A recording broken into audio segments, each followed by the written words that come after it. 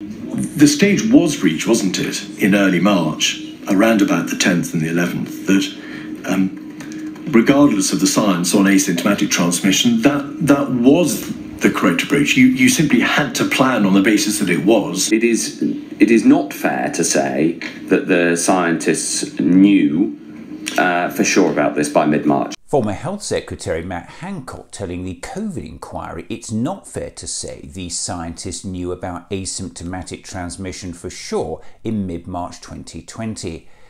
We'll now listen to England's Chief Medical Officer Chris Whitty answering questions from MPs on 5th of March 2020. There is a large iceberg of people who've got asymptomatic infection, so a very large number of people have been infected in Hubei without being detected.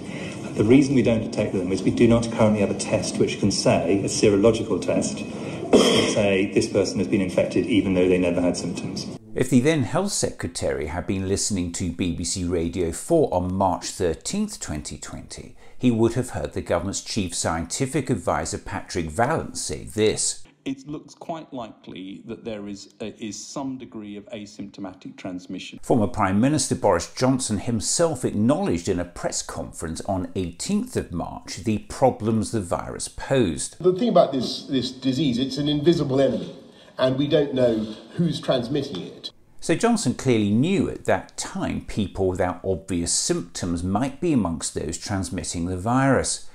Johnson directly commented on papers examining the issue at a COVID press conference on March 25th. Just Patrick, on the numbers of people who have the disease asymptomatically, there was a, a study I saw quoted uh, from some Oxford uh, academics saying that uh, as many as 50% may have had it uh, uh, asymptomatically, or uh, I think a lot of people will have seen that that story. How do you how do you evaluate that at this at this stage? We, we simply don't know at the moment, and there, that's why the antibody test is so important.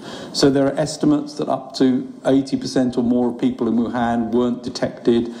There are estimates that of those who are positive so that's a small percentage of the population who were tested positive. Quite a number of them were asymptomatic in a town in Italy. But it wasn't until 15th of April 2020 that the then Health Secretary introduced a policy to test care home patients before discharging them from hospital. Today we've strengthened the rules so that all care home residents who are discharged from hospital will be tested before being admitted into their care home. By that time, a staggering 25,000 people had already been discharged from hospital into care homes without being tested for coronavirus.